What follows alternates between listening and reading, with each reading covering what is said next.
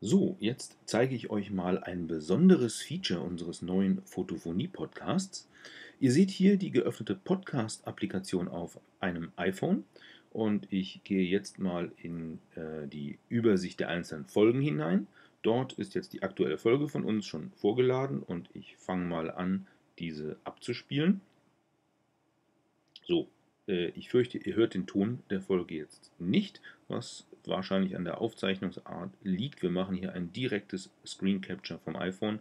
Da scheint Ton nicht überspielt zu werden. Nun ja, dann ist das halt so. Kein Problem. Was ich euch zeigen will, ist, jetzt läuft so im Hintergrund die Ansage.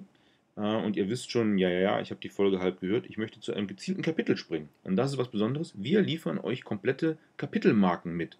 Das ist einfach ein Komfort-Feature. Das geht auch ohne, aber jetzt könnt ihr zum Beispiel hier einfach durchblättern und schauen, okay, welches Thema interessiert mich, wohin hatte ich zum Beispiel, bis wohin hatte ich gehört.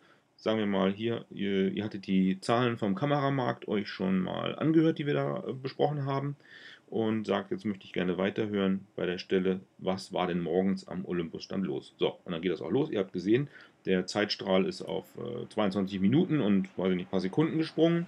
Und jetzt läuft der äh, Podcaster weiter. Und jetzt stellt, stellt ihr fest, ah, Quatsch, das Kapitel habe ich ja schon gehört.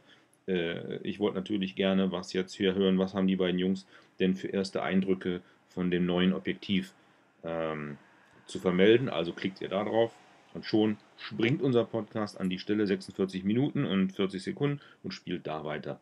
Also, wenn das nicht toll ist, dann weiß ich aber nicht, oder? Das äh, ist ja wohl hier eine heiße Sache. Und endlich unterstützt Apple das in seiner Podcast-App jetzt auch wieder. So, und deswegen macht uns das Spaß, das mitzuliefern und ihr habt einfacheres Hören und deswegen hört ihr uns hoffentlich öfter und auch bis zum Ende der Folge.